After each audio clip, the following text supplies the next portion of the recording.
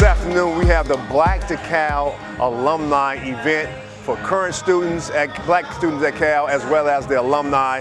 It's a chance to fellowship, uh, network, and just come together and gather and have conversations, share information, uh, uh, develop relationships so they can be long-term in terms of helping our young students currently uh, in terms of whatever they need, support. Just let them know we're here, uh, a sense of belonging, and also revitalize the black student body here at Cal.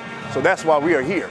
We got food, we got we got tacos, we got barbecue, we got sound by Kwame Love, and it's, it's going down. I mean, it's a great opportunity to, to really come back to Berkeley and be in a, a space that you can identify with, which is the black space.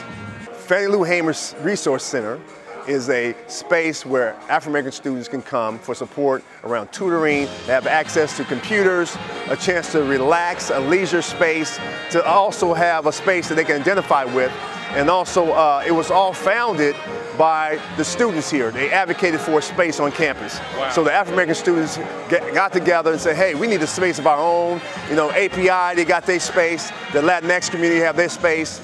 And also the Middle Eastern students have their space. They needed a space that they can say, this is a black space.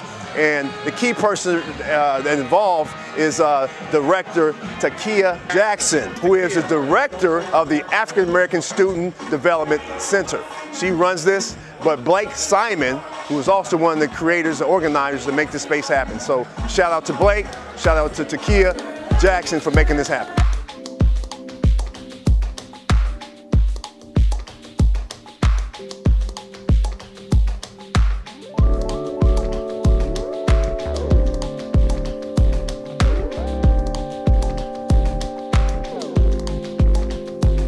What's important about this is that the numbers have declined. The enrollment here among African American students have declined.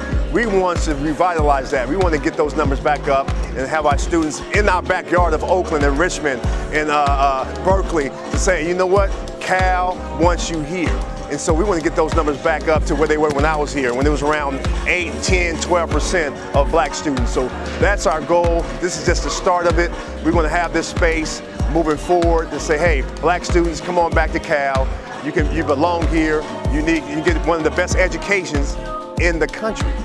People didn't know, but people, I'm gonna let folks know today, Cal is the number one institution in the country. So we want black students back here.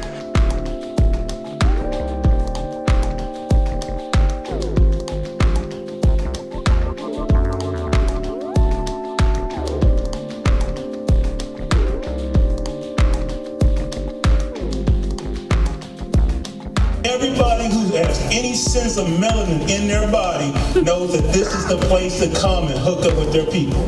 So that's the whole purpose of this event. It's about black people coming together and doing what black people do and having a good time. I've had three kids come through Cal. All right? Yeah. They did not have the same experience as, as I did along with B. McGee and Majette. All right, they did not have that experience. They were alienated. They felt alienated here on campus.